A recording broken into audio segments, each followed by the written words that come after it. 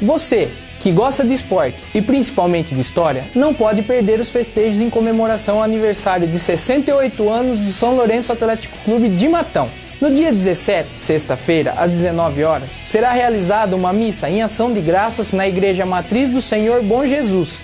E às 8h30 será apresentado o vídeo documentário sobre o São Lourenço Atlético Clube. Sábado, dia 18, às 10 horas da manhã, no Clube da Bambose, haverá o jogo de confraternização e ao meio-dia será servido o almoço. Não percam!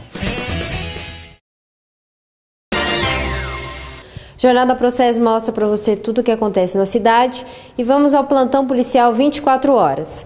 Aconteceu uma lesão corporal no bairro São José, onde Antônio Ângelo, de 69 anos, declara que andava pela Avenida São Lourenço, sentido Ludovic X, quando sentiu uma linha com cerol cortando suas pernas e viu um menino aproximadamente de 10 anos correndo e puxando a linha. A vítima foi encaminhada ao pronto-socorro para ser medicado, onde foi informado que os ferimentos são graves. Ele foi liberado e encaminhado para um ortopedista, tendo em vista rompimento de músculos e nervos feito o boletim de ocorrência. Teve também um caso de direção perigosa, onde William, 19 anos, conduzia uma motocicleta no bairro Santa Rosa, empinando a moto e evadindo-se em alta velocidade sem respeitar os sinais de parada obrigatória, colocando em risco a vida de outros condutores e pedestres.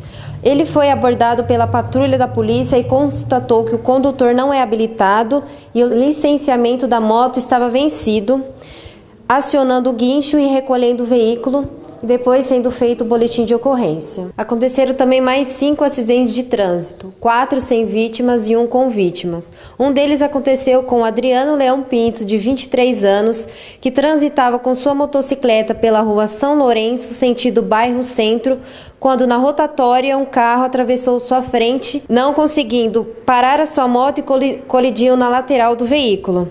A vítima foi encaminhada ao pronto-socorro pelo SAMU, com ferimentos leves, foi medicado e depois liberado. Essas foram as últimas informações aqui do plantão policial. Mirielle Coutinho para o boletim informativo do Jornal Processo.